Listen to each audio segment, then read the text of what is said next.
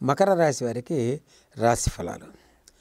గోచార రీత్యా రాశి సంచారాన్ని ఒకసారి చూసినట్టయితే మకరంలో శుక్రుని యొక్క సంచారం ద్వితీయంలో రవి యొక్క సంచారం తృతీయంలో వక్రించినటువంటి బుధుడి యొక్క సంచారం చతుర్థంలో కుజుని యొక్క సంచారం వ్యయంలో శనికేతువుల యొక్క సంచారం లాభంలో దేవగురు అయినటువంటి బృహస్పతి యొక్క సంచారం ఆరింట రాహు యొక్క సంచారం. ఈ రకమైనటువంటి గ్రహ సంచారం ఉంది ఈ వారం. ఈ వారం ఈ గ్రహ సంచారం ఈ రకంగా ఉంది కాబట్టి వాస్తవానికి మకర రాశి వారికి ఏలినాటి శని ప్రభావం తీవ్రంగా ఉంది. ఏ పని మొదలెట్టినా కూడా సంపూర్ణంగా పనికి సంబంధించినటువంటి ప్రక్రియ పూర్తి కాకపోవటం మానసిక అశాంతి ఇటువంటివన్నీ ఎక్కువగా వీళ్ళు అనుభవించేదానికి ఎక్కువగా ఆస్కారం ఉంది. అది లాభంలో దేవగురు అయినటువంటి బృహస్పతి వ్యాధిపతి అక్కడ ఉన్నాడు కాబట్టి లాభానికి సంబంధించినటువంటిది ఏదైనా మనకు అందుబాటులోకి రావాలి అని అనుకున్నట్టయితే అది సరైన స్థితిలో సరైన సమయంలో మన చేతిలోకి అందుబాటులోకి రాకుండా ఉండే అవకాశాలు ఎక్కువగా ఉన్నాయి. మరి ఈ విధంగా ఉంటే ఇంతేనా జీవితం? దీనికి సంబంధించినటువంటి పరిష్కారాలు లేవా అంటే మనం ఈ కార్యక్రమంలో కేవలం పరిష్కారాలు తెలుసుకునేదానికి మాత్రమే ప్రయత్నం చేస్తున్నాం. దీనికి సంబంధించినటువంటి పరిష్కారాలు తెలుసుకుందాం. రాబోయే సమయం హోలీ. హోలీ సమయంలో కూడా వీరికి సమయం సంబంధించినటువంటి విశేషమైన పరిష్కారాలు ఉన్నాయి. ఈ వారం ప్రత్యేకించి చేయవలసినటువంటి కార్యక్రమాలు ఏమిటంటే లక్ష్మీ సీతా పూజ పదమూడవ తారీఖున. కమల బీజాలు అంటాం. కమల బీజాలు అంటే తామర పూసలు. ఈ తామర పూసలు కొన్నింటిని సేకరించి అమ్మవారి చిత్రపటాన్ని గజలక్ష్మి కనుక ఉన్నట్టయితే గజలక్ష్మి యొక్క ఫోటో చిత్రపటాన్ని అలంకారం చేసి పాదాల దగ్గర చక్కగా సింధూరం రాసి ఆ పటం చుట్టూతా కూడా నూట ఎనిమిది పూసలు తక్కువ కాకుండా తామర పూసలతో కనుక పూజ కనుక చేయగలిగినట్టయితే మకర రాశి వారికి రాబోయే సమయం అత్యంత చక్కటి సుందరమైనటువంటి సమయం చక్కటి శోభస్కరమైనటువంటి సమయం కింద భావించే అవకాశాలు ఎక్కువగా ఉన్నాయి. ఈ చిన్న ప్రక్రియ చాలా చిన్న ప్రక్రియ ఇంట్లో ఎవరికి వాళ్ళు చేసుకోగలిగేది. ఒక విషయం తప్పనిసరిగా గుర్తుపెట్టుకోవాల్సింది ఏంటంటే జ్యోతిషం అనేటటువంటిది ఖర్చుతో కూడినది కాదు. జ్యోతిషం అనేది లేకపోతే దానికి పరిహార ప్రక్రియలు అనేది ఎవరికి వారు స్వతసిద్ధంగా కనుక చేసుకోగలిగినట్టయితే ఆ ఆనందాన్ని పొందే అవకాశాలు ఎక్కువగా ఉంటాయి. వాళ్ళెవరి చేతితో చేయించాం వీళ్ళెవరి చేతితో చేయించామంటే వాళ్ళు సరిగ్గా చేసినా చేయకపోయినా పరిణామం మన మీద ఉంటుంది కాబట్టి ఆ కారణం చేత వాళ్ళని ఎప్పుడూ కూడా శాస్త్ర నింద పనికిరాదు. చేయగలగాలి చెయ్యాలి. మనకు ఆకలి ఉంది అంటే మనం తినటమే శ్రేయస్కరం. ఆ కారణం చేత ఎక్కువ ఖర్చు పెట్టవలసినటువంటి అవసరం లేదు. అనేక రకాలైనటువంటి ఒడిదుడుకులకి లోనయ్యే అవకాశం ఈ సమయం. ప్రతి చిన్న విషయానికి కూడా మానసిక అశాంతితో ఉంటాం. ఎందుకంటే ఏది పరిష్కారం సరి అయినటువంటి పరిష్కారం దొరకదు. ఇప్పటిదాకా ఎందుకంటే ఏలినాటి శనికి సంబంధించినటువంటి ఛాయ ఉంది కాబట్టి సరి అయినటువంటి పరిపక్వ స్థితికి మనం ఇంకా చేరుకునే అవకాశం రాదు ఈ మకర రాశి వారికి.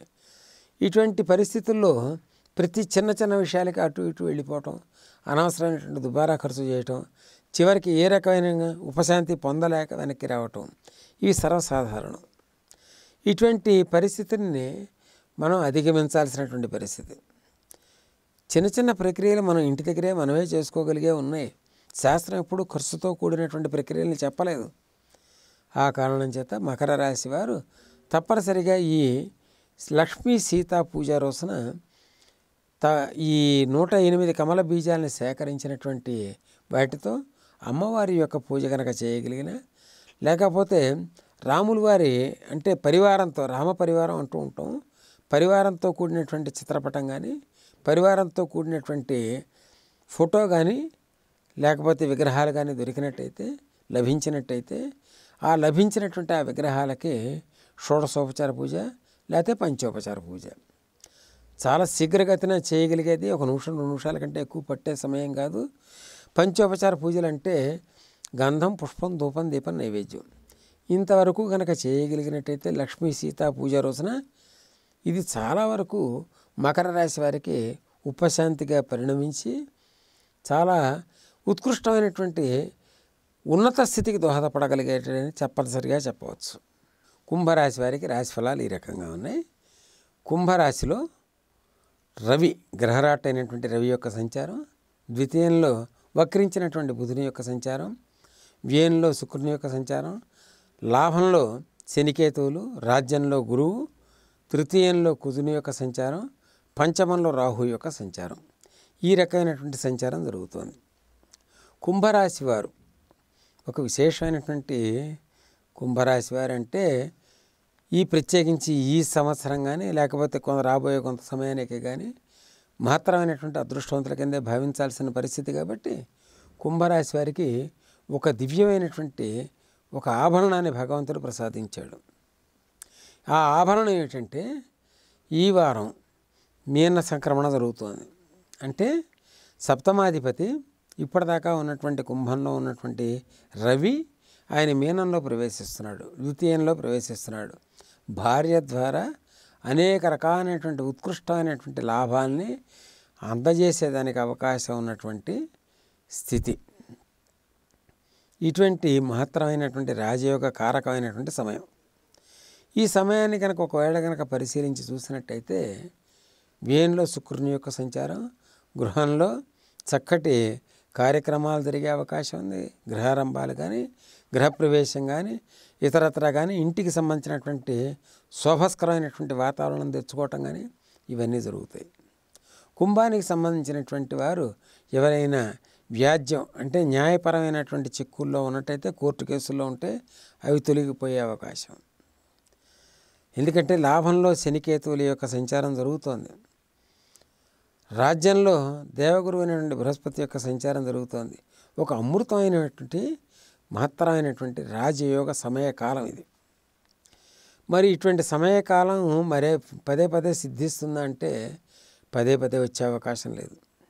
మరి ఈ వారం ఇంకా ఉత్కృష్టమైనటువంటి ప్రతిబంధకాలు లేనటువంటి పరిస్థితిని పొందాలి అని వాంఛించే కుంభరాశి వారికి కొన్ని ప్రక్రియలు తప్పనిసరిగా ఇక్కడ తెలియపరచాలి.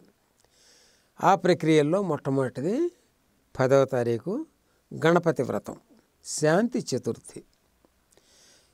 వర్తమానానికి కుంభరాశి వారికి ఏలినాటి శని యొక్క ప్రభావం లేదు కాబట్టి చేసుకోవాల్సిన అవసరం లేదనే భావన ఉంటుంది.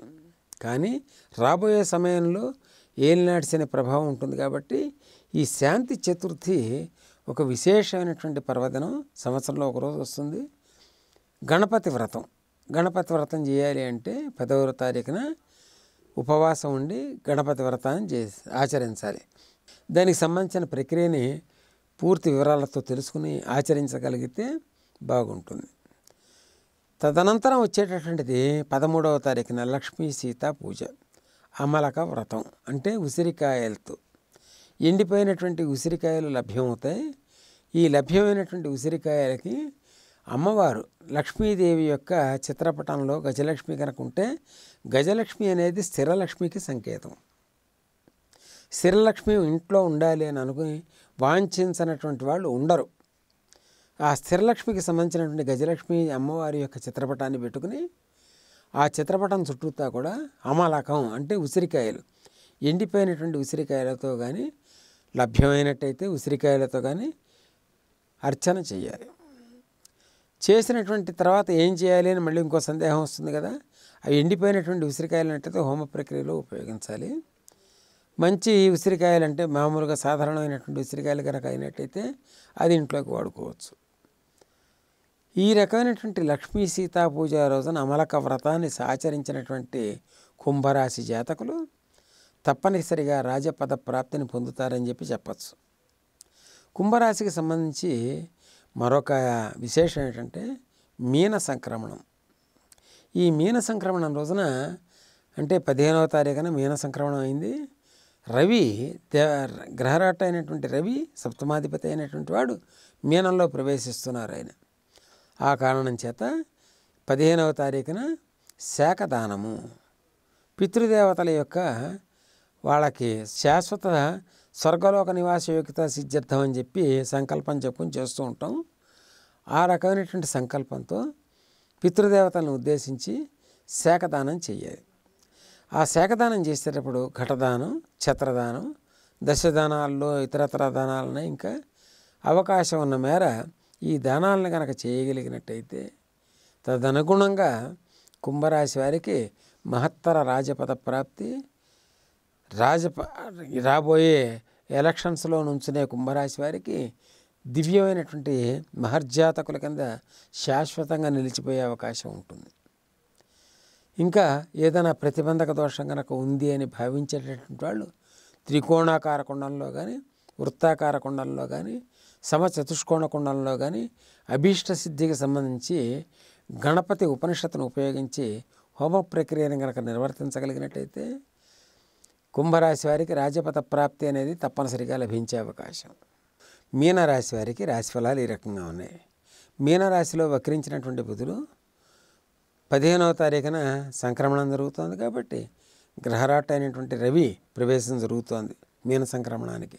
ద్వితీయంలో కుజుడు చతుర్థంలో రాహువు రాజ్యంలో శనికేతువులు లాభంలో శుక్రుడు భాగ్యంలో దేవగురు అయినటువంటి బృహస్పతి ఈ రకమైన సంచారం జరుగుతోంది. ఈ రకమైన సంచారం జరుగుతోంది కాబట్టి ద్వితీయంలో కుజుని యొక్క సంచారం కొంతకాలమే ఉంటుంది. పైవారం అంగారకుడు తృతీయ సంచారం అంటే వృషభానంలోకి ప్రవేశిస్తున్నాడు. ఆ కారణం చేత మీనరాశికి సంబంధించినటువంటి లాభాలు ఏ రకంగా ఉంటాయి? ఇబ్బందులు ఏ రకంగా ఉంటాయి? పరిష్కారం ఏ రకంగా ఉంటుంది? అనే దాన్ని కనుక విశ్లేషించాలి అంటే మీనరాశి వారికి ఇంచుమించుగా గ్రహరాట్ అయినటువంటి రవి యొక్క ప్రవేశం కొంత ఉపశాంతి కలగజేస్తుంది. మీనంలో రవి అంటే కొన్ని కొన్ని విశేషమైన కార్యక్రమాలకు అది చాలా ఉత్కృష్టమైనటువంటిగా భావించబడుతోంది. మీనంలో రవి సంక్రమణం జరుగుతోంది కాబట్టి మీనరాశి వారు ప్రత్యేకించి గ్రహరాటి యొక్క అనుగ్రహం పొందాలి అని అనుకుంటే తప్పనిసరిగా పదిహేనవ తారీఖున మీన సంక్రమణం రోజున పెద్దవాళ్ళని అంటే గతించినటువంటి వారికి సద్గతి కలగాలి అని చెప్పి ప్రార్థన చేస్తూ శాఖదానం చేయటం స్వయం పాకదానం చేయటం దశదానాల్లో ఏ అవకాశం ఉన్నదానం అయినా సరే చేయటం. ఒకవేళ కనుక అది అలభ్యం కనుక అయినట్టయితే చేయటానికి అవకాశం లేని పరిస్థితిలో ఉంటే ఛత్రదానం చేయటం చంద్రఘటాదానం అంటే చక్కటి కుండని అలంకారం చేసి నీటితో సహా దానం చేయటం. చేసేటప్పుడు మంచి వస్త్రాలు. ఎరుపు రంగు బోర్డర్తో ఉన్నటువంటి వస్త్రాలని ఎవరికైనా పండితులకి ఇచ్చి సత్కరించి వారి యొక్క కృపణ కనుక పొందగలిగినట్టయితే మీన సంక్రమణానికి సంబంధించినటువంటి రవి యొక్క సంచారం జరుగుతుంది కాబట్టి ఈ సంచారం జరిగే సమయంలో అత్యంత మహోన్నతమైనటువంటి స్థితిని ఆయన అనుగ్రహించగలుగుతాడు. ఆరోగ్యం భాస్కరాదిశ్చేత్. ఆరోగ్యాన్ని ఇచ్చేటటువంటి వాడు ఆయన. ఆరోగ్యమే మహాభాగ్యం. భాగ్యాన్ని పొందాలి అంటే సరైనటువంటి ఆరోగ్య స్థితి ఉండాలి. అనుభవించలేనటువంటి స్థితిలో కోటాను కోట్లు ధనం ఉన్నా కూడా ఉపయోగం ఉండదు అది.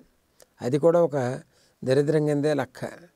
ఆ కారణం చేత అనుభవించగలిగినటువంటి ఐశ్వర్యాన్ని ప్రసాదించగలిగినటువంటి గ్రహరాటు మీన సంక్రమణం నుంచి అక్కడే సంచరిస్తాడు కాబట్టి ఆ సంచరిస్తున్న సమయంలో ఆయన యొక్క కృపను పొందాలి. ఈ కృపను పొందే ప్రక్రియలో ఇంకొక చిన్న ప్రక్రియ కూడా ఉంది. లోలార్క మందిరం అని చెప్పి వారణాసిలో ఉంది. లోలార్క మందిరానికి వెళ్ళి నారింజ పళ్ళ నుంచి తీసినటువంటి రసంతో అక్కడ గనక లోలార్క అంటే లోలార్క మందిరానికి సంబంధించినటువంటి ఆ శివలింగం అన్నమాట. లోలార్కుడు అనే పేరుతో పిలువబడుతున్న శివలింగానికి ఈ నారింజ పళ్ళతో తీసినటువంటి రసాన్ని అభిషేకంగా కనుక చేసినట్టయితే మీనరాశి వారికి మనోవాంఛ ఫలసిద్ధి. ఇతర రాశి వారి అందరికీ కూడా ఇది అవుతుంది అది అవుతుందని అనుకుంటున్నాం. వీరికి మనోవాంఛ ఫలసిద్ధి. మనసులో ఏ కోరిక ఉంటే అది సిద్ధించగలిగినటువంటి మహత్తరమైనటువంటి రాజయోగ సమయం. ఇటువంటి సమయాన్ని సద్వినియోగం చేసుకునే దానికి ప్రతి ఒక్కరూ ప్రయత్నపూర్వకంగానే అభిలషించాలి ప్రయత్నపూర్వకంగానే ఆచరించగలగాలి ప్రయత్నపూర్వకంగానే తరించగలగాలి. ఈ వీడియో గనుక మీకు నచ్చినట్లయితే లైక్ చేయండి షేర్ చేయండి. మరిన్ని వీడియోస్ కోసం మా ఛానల్ను సబ్స్క్రైబ్ చేయండి.